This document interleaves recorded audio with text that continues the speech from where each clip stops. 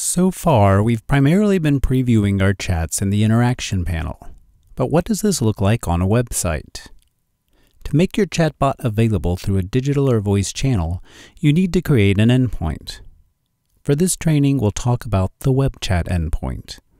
The web chat is an out-of-the-box interface that Cognigy provides that makes it easy to expose your flows in a web browser.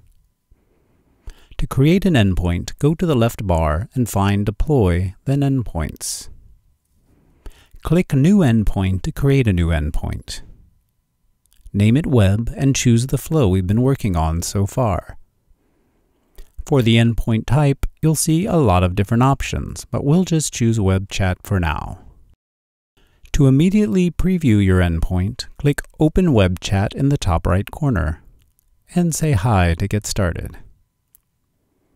This will largely look like the interaction panel with just a couple of exceptions. First, any HTML you've entered, like when we created links, will be rendered here in the web chat. In the interaction panel, you'll just see the raw HTML. You won't see any of the feedback about intents and slots that's part of expert mode in the interaction panel.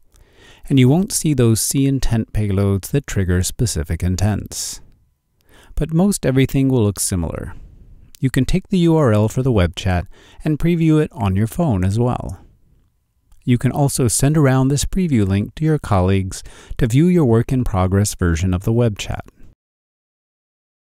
Let's take a look at some of the configuration settings that let us control the look of the web chat. Take a look at the web chat configuration. The first option allows you to either center the web chat or to display it in the traditional lower right corner. I'll change it to no so we can see what that looks like. I can also change the color scheme for the web chat. I'll add a title, Cognigy Training. Lastly, I'll scroll to the bottom to add a background image.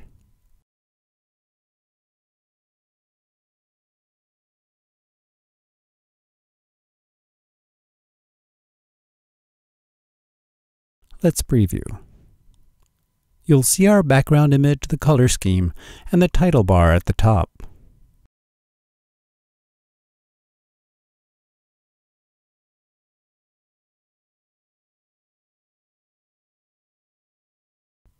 We can also change the behavior of how the chatbot starts. I'll change the start behavior to auto send a message to the bot. For the payload, I'll put hi and for the display text, I'll say, ready for liftoff.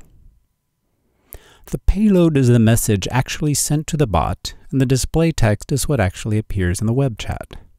Let's check it out. When I click on the button, I see Ready for Liftoff message has already been sent, and the output of my once node is displayed. If I choose Start with a button, the web chat displays a button rather than automatically sending a message. I'll save and preview.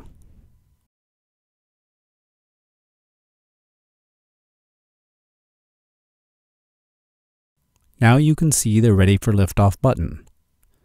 When I click it, Cognigy will send the payload that I specified in the configuration options.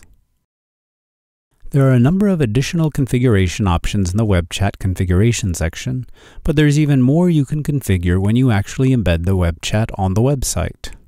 See Cognigy's documentation on embedding the web chat for more information on showing engagement messages and many other features.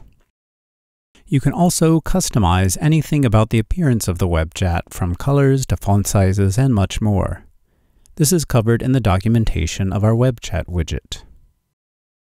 To actually add the widget to your website or intranet, you'll need to work with a team that manages those sites to add some embed code, a few lines of JavaScript to your website. There's a lot more to say about endpoints, but this gives you enough to be able to preview your chatbot and share it with others.